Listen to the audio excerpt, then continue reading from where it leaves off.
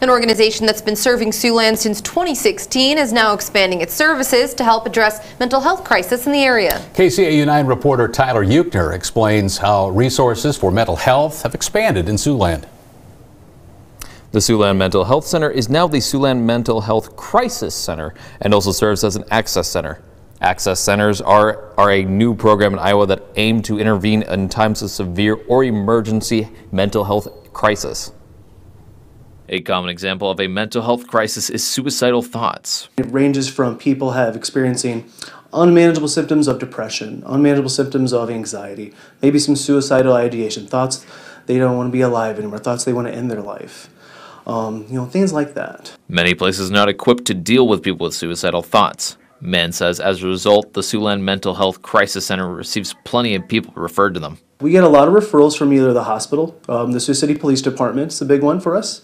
Um, we also get a, a lot of referrals from our own clinic, the Siouxland Mental Health Clinic. The first on the scene to a crisis is typically a police officer. At times, there's only so much they can do for people with mental health issues. So what the officer would do in the past would be to take that person to the hospital.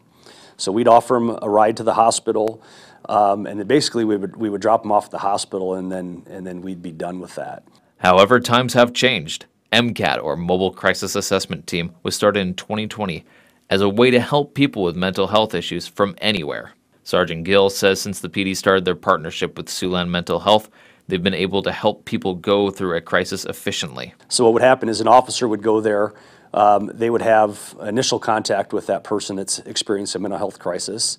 Uh, they would call MCAT, the MCAT team would come to that location and then they would either uh, speak to the person on scene or most likely take that person to the hospital uh, where they can get some uh, professional treatment. Mann says Siouxlanders can also give the Suicide and Crisis Lifeline a call at 988 for more professional help. Live from the newsroom, Tyler Euchner, KCAU 9 News.